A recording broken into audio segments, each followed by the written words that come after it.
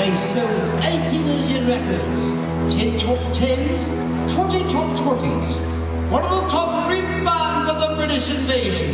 They are Herman's Hermits, serving Herman himself, Peter